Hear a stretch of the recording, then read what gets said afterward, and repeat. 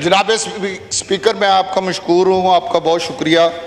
जनाब स्पीकर मैंने आज से चंद दिन पहले यहाँ पे अर्ज़ की थी कि पाकिस्तान तरीक़ इंसाफ के टिकट बिक रहे हैं पंजाब के अंदर, क्योंकि पंजाब में अभी तक इन्होंने टिकट तकसीम किए हैं।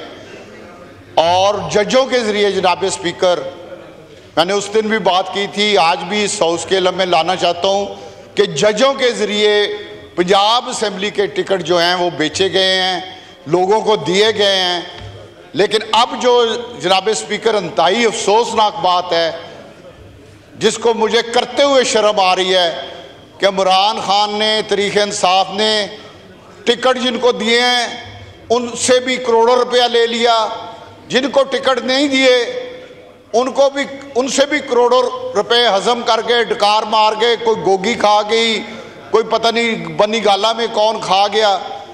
और अब जो नया ड्रामा करने लगा है जनाब स्पीकर, इमरान खान, वो ये करने लगा है कि वो ऐलान करने लगा है कि मैंने पंजाब के अंदर जो टिकट दिए थे, मैं वो तमाम कैंसिल करने जा रहा हूँ। जनाब स्पीकर, इससे क्योंकि लोग उसे, बहुत ज़्यादा लोग छोड़ गए थे।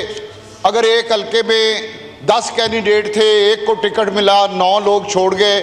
उन्होंने इन्वेस्टमेंट भी बंद कर दी, उन्होंने जुलूसों में भी आना बंद कर दिया। उन्होंने पैरे देने भी बंद कर दिए।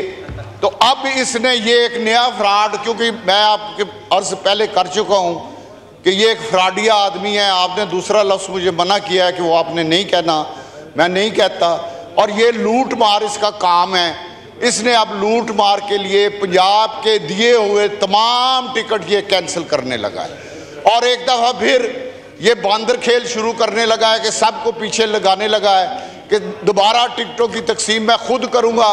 तमाम जो लोग जिनको पहले टिकट नहीं मिले, वो मेरे घर पे आके पैरा भी दे, मेरे जलसों में भी आएँ, मेरी रैलियों में भी आएँ, मेरी हफाजत भी करें। तो मैं पंजाब के उन लोगों को इस हाउस के ज़रिए ये पैगाम देना चाहता हूँ कि खुदा के लिए इस फ्राडिये से बचे। ये एक दफ़ा फिर आपसे फ्रॉड करके लूटने के लिए तैयारी कर रहा है। इसकी इस तैयारी को नाकाम बनाएँ। ये अब अकेला रह गया है। परसों हमारे शहर में इसने हड़ताल की काल दी थी। बीस आदमी नहीं थे, जनाब स्पीकर, यकीन जाने मैं आपको हल्फन कह रहा हूँ कि बीस आदमी नहीं थे। ये इसकी हालत हो चुकी है।